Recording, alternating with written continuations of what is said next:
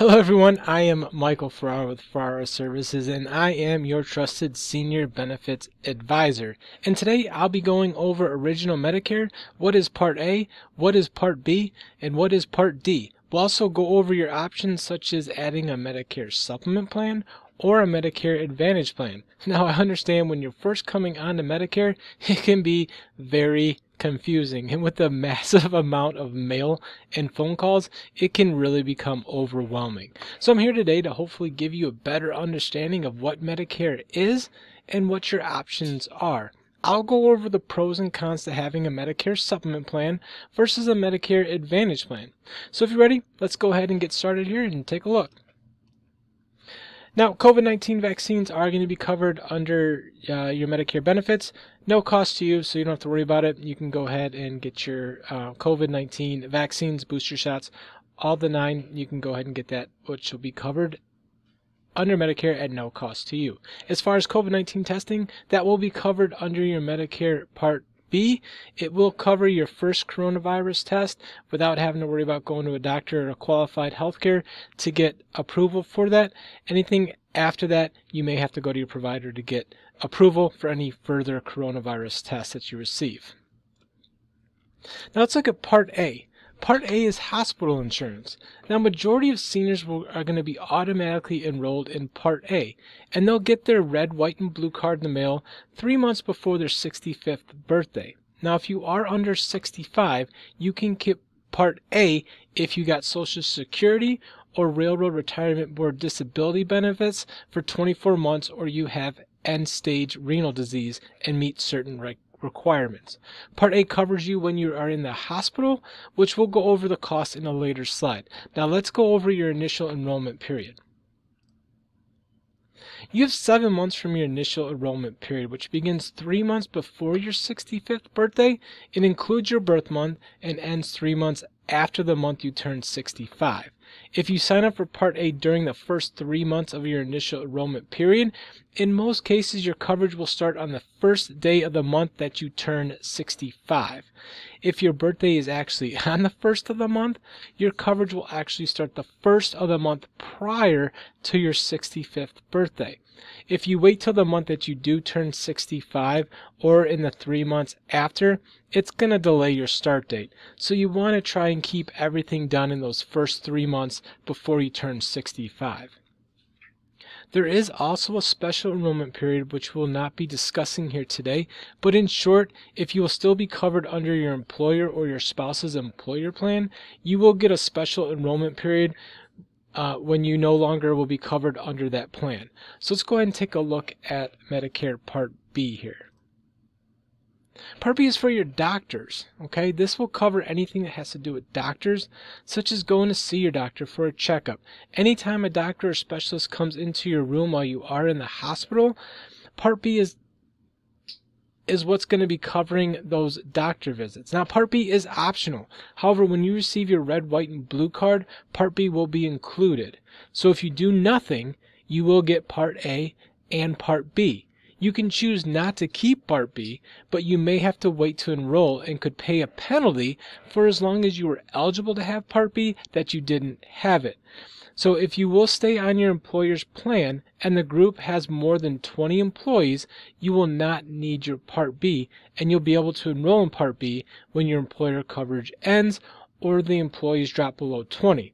If you've not received your card in the mail, you'll want to reach out to Social Security, which you can reach out to them at 1 800 772 1213, and they'll be more than happy to assist you.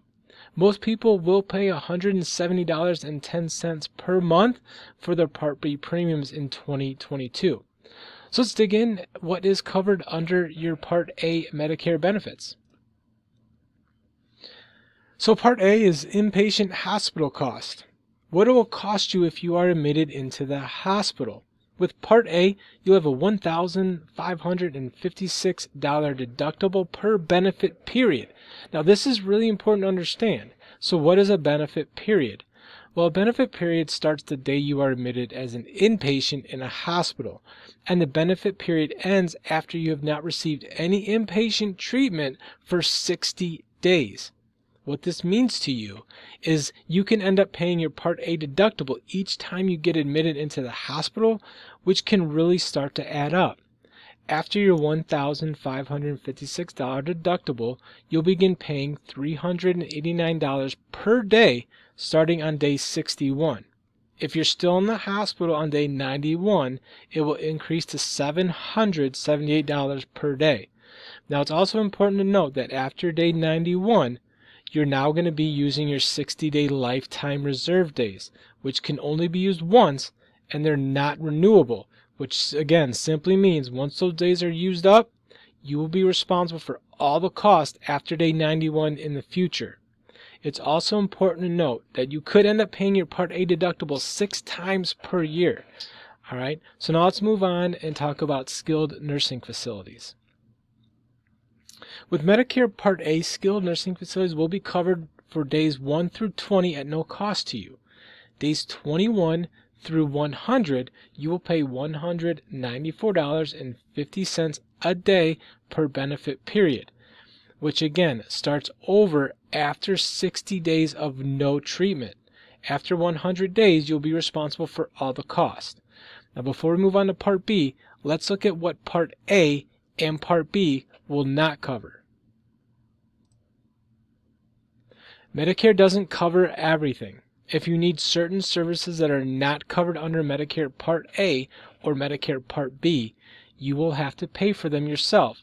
So let's look at some of the items and services that Medicare does not cover, such as most dental care, eye examinations related to pres- prescribing glasses. So if you're in the eye doctor trying to get a new prescription for glasses, that's not going to be covered under Medicare.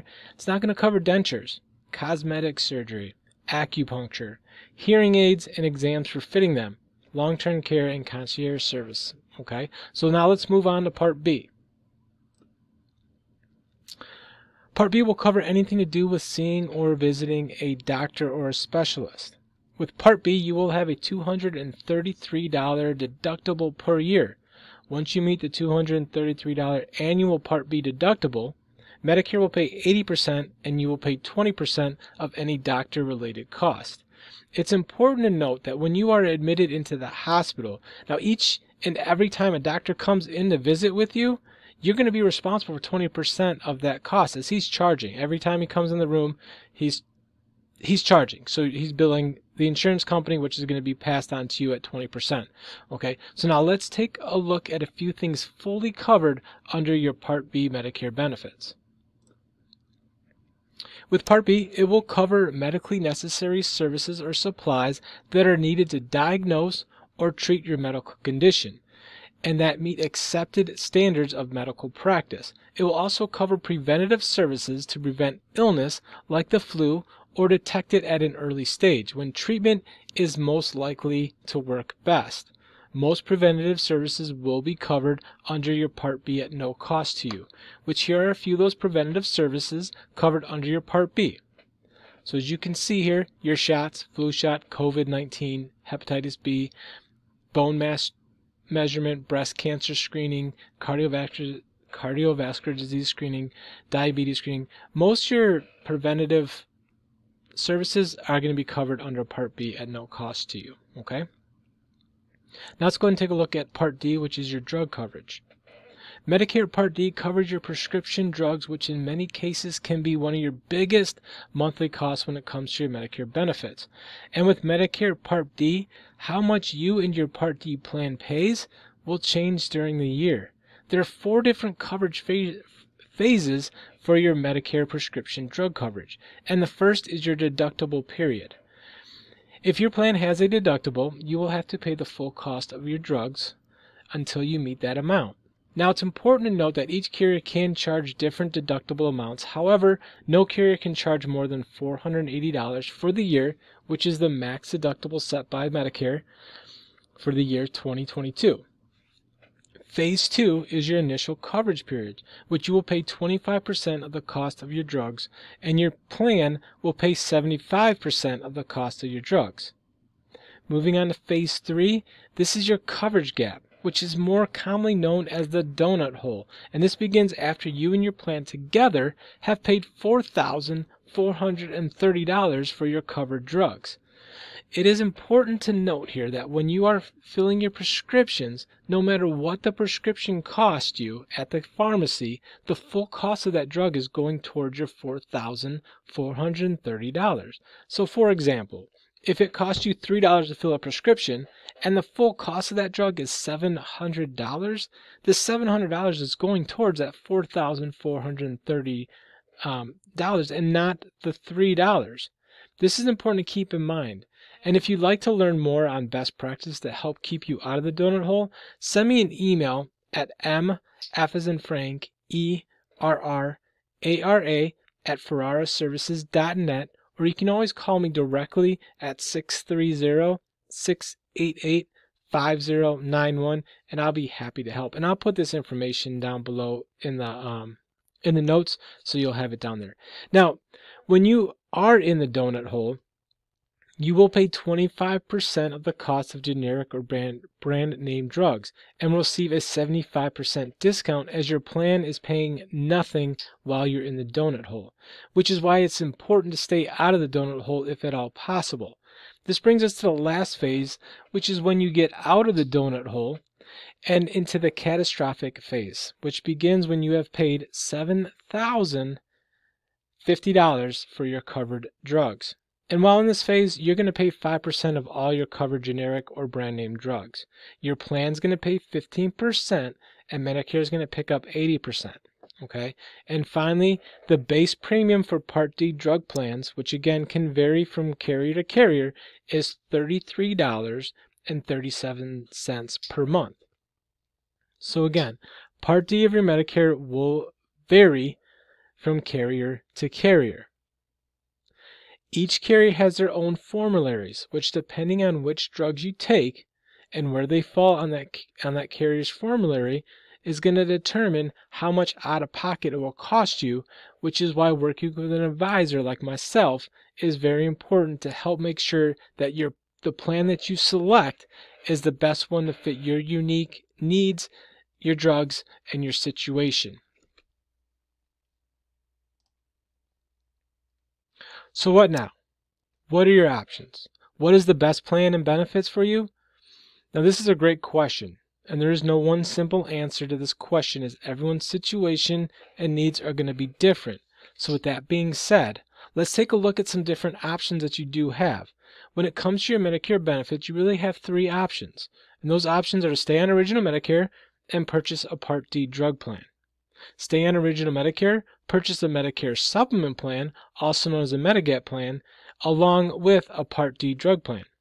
Or you can go with private insurance and purchase a Medicare Advantage plan, which is also known as Medicare Part C, and usually includes your Medicare Part A, Medicare Part B, and your Medicare Part D. So let's go over what is a Medicare Advantage plan and what is a Medicare Supplement plan. In a Medicare Advantage plan, which is run by private health insurance carriers, you generally will not have a monthly premium. However, some plans will charge a premium for certain plans that they do offer. You will still be responsible for paying your Medicare Part B premium each month to Medicare. Medicare Advantage plans generally have a deductible for hospital visits, doctor visits, or prescription drugs. Plans usually charge you a fixed copayment when you visit a doctor instead of the 20% coinsurance you would pay under original Medicare. All plans must include a limit on the amount of money you spend out of pocket during the year, which for 2022 is $7,550. They also cannot charge higher copayments than original Medicare for certain care, which includes chemotherapy, dialysis, and skilled nursing facility care. They can, however, charge you more than original Medicare for other services, such as home health care, durable medical equipment, and inpatient hospital services. Almost all Medicare Advantage plans have a network of doctors, hospitals, and pharmacies and provide services only in a certain part of the country, which is why it's very important to review any plan that you may be interested in and to also review it each and every year as networks and benefits will change with those plans. So your doctor or hospital may be in network this year, but not the next year. Medicare Advantage plans will also generally include extra benefits original Medicare does not. such as vision, dental, and some plans will even include a yearly gym membership. Now, you may be asking, this all sounds really good. So, what's the downside to having one of these plans? And to name a few of the limitations of these plans, the biggest one is your doctor not having 100% control over your health care. And what I mean by this is if your doctor determines that said procedure is the best option for you, and your Medicare Advantage plan determines that, you know what, it really isn't necessary to have that procedure done, you could be on the hook for paying that bill if you go ahead with that with your doctor's advice.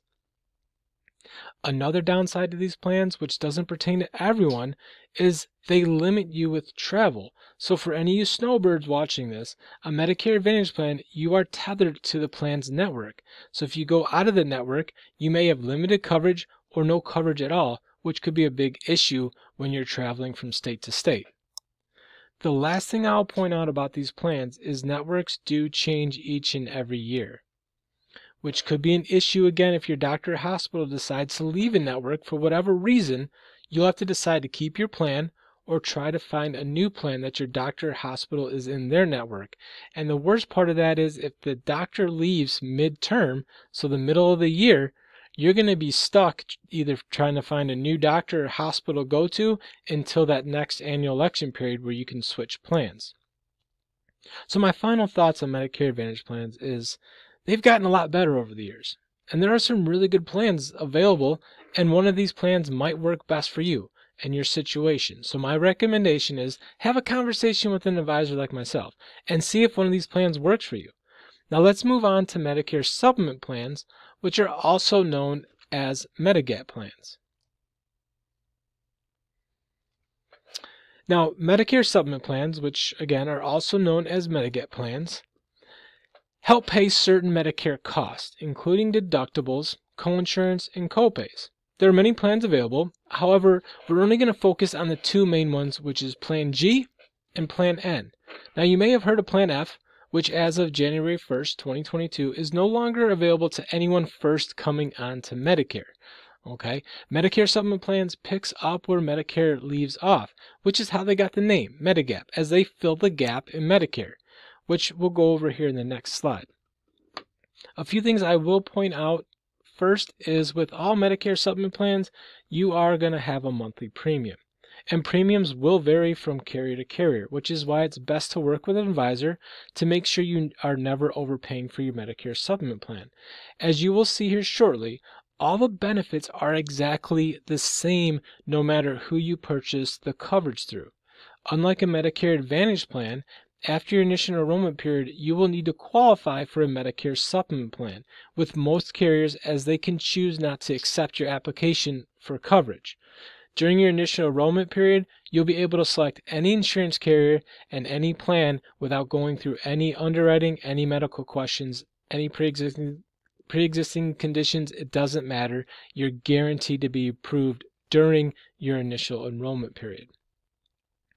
With a Medicare supplement plan, you are free to go to any doctor, any hospital in the U.S. that accepts Medicare. You're not tethered to any network restrictions. Medicare is your insurance carrier and your supplement plan follows Medicare. Simply put, when you go to the doctor or the hospital and they ask, who is your insurance carrier? You say Medicare and you hand them your Medicare card, not your supplement card such as Blue Cross Blue Shield, Humana, Aetna, Mutual of Omaha. Your insurance carrier stays Medicare. Your supplement plan supplements your Medicare, okay? As they are going to bill Medicare, and then Medicare will build your supplement plan. It follows Medicare. Okay? Medicare supplement plans do not cover your prescriptions. Therefore, you will also need to purchase a standalone Part D drug plan. All, all Medicare supplement plans are regulated by the federal government, which simply means they have determined the benefits offered by each plan and not the insurance carrier. The only difference when shopping around at plans is the premium charge and the level of service offered by each carrier. You're not locked into any plan as you can switch Medicare supplement plans anytime throughout the year. They don't have enrollment periods. And again, as long as you can qualify, you can continue to switch month after month, which again isn't recommended, but that's available to you. Okay. Also, with Medicare supplement plans, your health care is 100% up to your doctor. No matter what your doctor recommends, Medicare will pay and your Medicare supplement plan will pick up the rest, no questions asked. Now let's take a look at the different Medicare supplement plans and go over them just a little bit more here. Here are all 10 Medicare supplement plans. As mentioned before, not all these plans will be offered by all private insurance carriers. This chart will show you what each plan covers and does not cover. Looking at the two most popular plans, which is Plan G and Plan N, you can see that 100% of Part A coinsurance is covered, 100% of Part B coinsurance is covered, 100% of hospice care is covered, 100% of skilled nursing facility care is covered, your Part A deductible is covered, and you have 80% coverage for foreign travel emergencies. So as you can see, when you purchase a Medicare supplement plan, yes, you will have a monthly premium. However, other than your Part B deductible, everything else will be covered. When you purchase a Medicare supplement plan, you have the freedom to travel. You can see any doctor, go to any hospital or specialist that accepts Medicare. As long as you pay your monthly premium, everything else other than your Part B deductible is going to be covered at 100%, which gives you the best overall benefits and peace of mind knowing that no matter what happens, the most you're going to spend is your Part B deductible and whatever your monthly premium for the Medicare supplement plan. Now let's say that you're admitted into the hospital. We know that you have a Part A deductible of $1,556 per benefit period. Looking at the two most popular Medicare supplement plans, which is Plan G and Plan N, as you can see here, your Part A deductible is covered at 100%, so you pay nothing. Now let's take a look at your Part A coinsurance. Days 1 through 60, you pay nothing.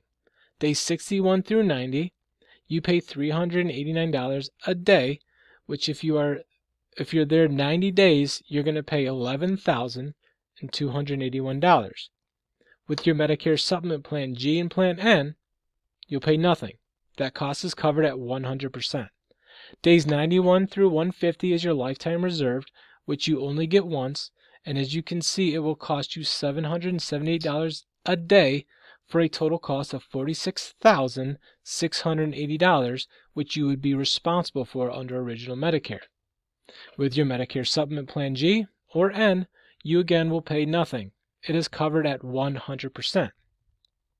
Your Medicare Supplement Plan will also provide you with an additional 365 days of coverage that Original Medicare does not. Let's now look at the Part B costs and how we are going to pay the doctors. Part B, you have a $233 a year one time deductible for 2022. With Plan G or N, you're responsible for paying your Part B deductible. And once your Part B deductible is met, we're going to look at Part B coinsurance. With Medicare Part B, Medicare will pay 80% of the bill and you'll pay the tw- other 20% with no max out of pocket. With your Medicare Supplement Plan G or N, you will pay nothing it will be covered at 100%. So as we can see here, supplementing original Medicare with a Medicare supplement, supplement plan, also known as Medigap, will prevent that high out-of-pocket unknown that can come with original Medicare or even a Medicare Advantage plan. The last thing I will point out about Medicare supplement plans is when shopping around at different carriers, it is again important to note that Plan N or Plan G is the exact same with Mutual of Omaha as it is with Aetna, as it is with Blue Cross and Blue Shield, as it is with any other carrier. Okay? The only difference is the premium charged and the level of customer service and the yearly rate increases that may be offered by each one of those insurance carriers. You want to be careful. You don't get on a plan that's going to increase too much per year. But that's the only difference between the plans. The benefits are the same. So I really appreciate you spending a little time with me here today to go over Medicare and your Medicare options. Hopefully you found this information useful and have a better understanding of what your options are when it comes to your Medicare benefits. as I know it can be very confusing when first coming onto Medicare, or even if you had Medicare for a while with all the changes and the abundance of information, it can get a little bit overwhelming at times. If I can help answer any questions, or if you're ready to have a conversation about your Medicare benefits, give me a call at 630 688 5091. You can also send me a text or shoot me an email at m, f as in Frank, e, r, r, a, r, a at ferraraservices.net, and I'll be honored to help. Again, my name is Michael Ferrara, and I am your trusted senior benefits advisor. And I again appreciate you watching, and I hope you have an awesome rest of your day or night. Talk to you soon. Bye bye.